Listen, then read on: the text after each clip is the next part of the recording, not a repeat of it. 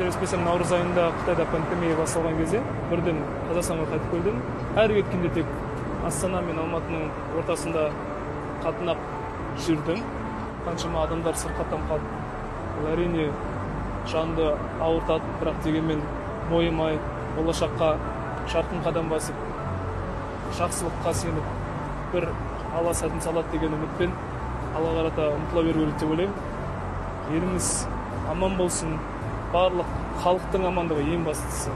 Мына бауырларымыз ұстаздарымыз әке шешелеріміз достарымыз іні қарындастарымыз отандастарымыз жалпы бүкіл әлем аман болсын. Әзірге гастрольдік саяхаттарымыз тоқтады. Жаңағы жарты жыл көлемінен бері бірінші рет қазақстанның аумағынан шығып шетелге сапармен бара жатқан сәтіміз. Біраз өзгерістер көрініп тұр.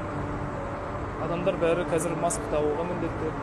Мен де бәрі секілді сол маска тағудан шаршаймын бірақ дегенмен ол ең алдымен өзіміздің денсаулығымыздан бұрын қасымыздағы аралас құралас болып жүрген бауырларымыздың денсаулығы үшін ұмытпай осы масканы тағып жүрейік.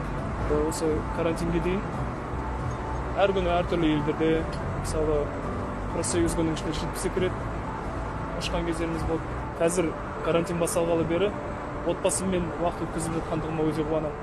Бұйырса бұл індетті де жеңіп бір қуаныш ұялайды деп ойлаймын. Сүйікті саяхаттайтын жерім ол шын мәнінде ақтөбе қаласы және әрине астана ақтөбе менің әрқашанда жүрегімде менің кіндік қаным тамған жерім. Менімен көбірек уақыт өткізу үшін ата әжеміз астанада көбірек болады ғой деп астанаға көшіп келген. Сол себептен ақтөбе мен астана деп қосып айтқан айтып жатқан себебім де осыдан. Оның үстіне біздің елордамыз сонымен қатар ата әженің баласы болғандықтан иә папа мамамен дос жаран туған туыс бауырлармен бірге уақыт өткізетін болсам сол жер мен үшін ең керемет жер. Көптеген тыңдармандарым біраз мені күтіп қалды. Ол кісілерге шын жүректен алғысымды білдіремін.